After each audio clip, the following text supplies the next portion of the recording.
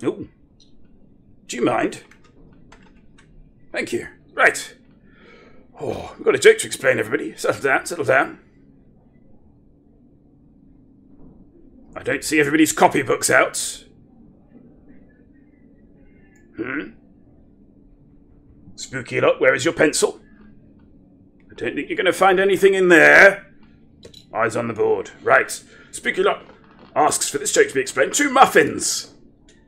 We're sitting in the oven, and the first looks over to the second and says, Man, it's really hot in here. Second looks over at the first with a surprised look and answers, Whoa! Talking muffin. Yeah. So, what's a muffin?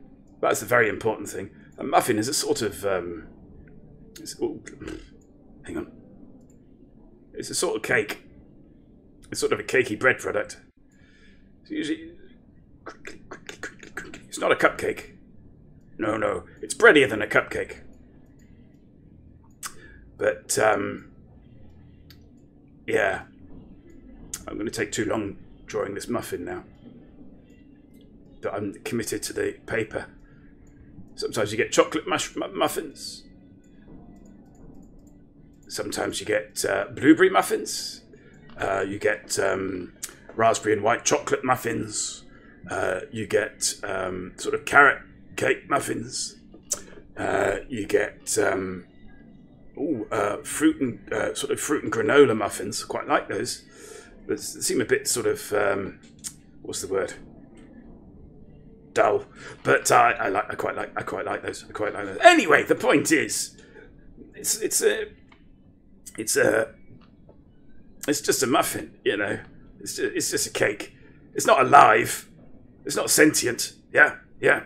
However, in the world of jokes, you see, in the world of jokes, um, it's often the case that uh, we will what we call anthropomorphize, anthropomorphize to make human, as it were, um, uh, things that are not human. So we might have, uh, for instance, there's the joke: um, two snowmen in a field.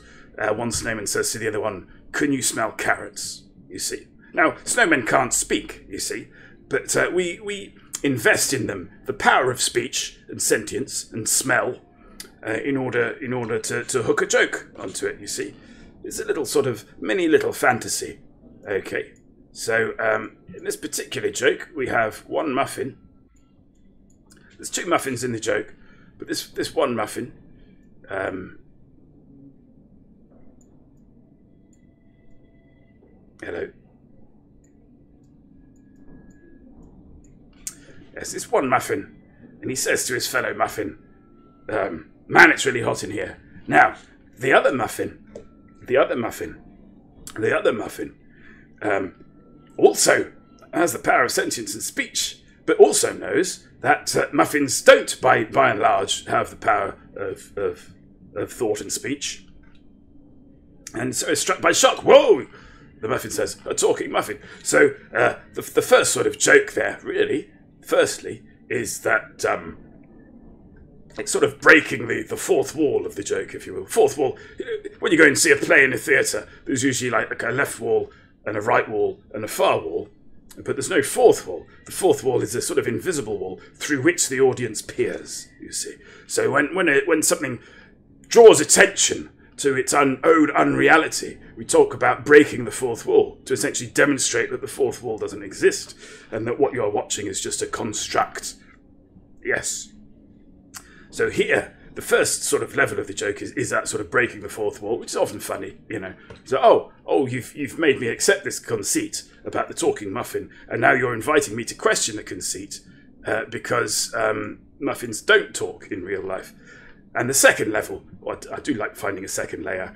Uh, second layer of the joke is um, is that the other thing, the thing that notices that this is a joke, or theoretically that, that something's amiss, something isn't matching up with reality, is itself a muffin. You see, the muffin, the second muffin, isn't struck by the fact that it can think and it can talk. It's only struck by the fact that its fellow muffin can speak and talk. Perhaps the muffin doesn't know it's a muffin. Perhaps it's assumed that it is not a muffin because it can think and speak. Yeah. So, uh, for all of that, all of that package, all that joyous little package, uh, leads to a humorous response. And um, Uh, yes, uh, spooky lot. Have I explained that joke to your satisfaction, sir? Only I always have time. Always have time to explain a joke. Sometimes it's not the time that the joke was requested. Excellent fourth wall explanation. Thank you, M. Curtains. I understand it now. Hurrah! Good work, good work. Okay, well, as you've all been so good, um, we're going to break for games early. Okay? Marvellous.